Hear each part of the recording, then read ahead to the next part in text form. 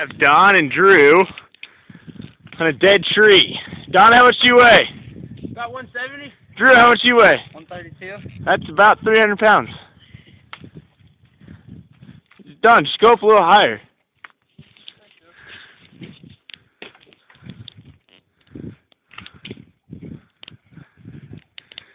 There's the ground. There's Donnie. There's crackling noises. Don, just keep going. Oh, yeah. Hospital's not too far away. What? Hospital's not too far away. Hurry, I only have 20 seconds left.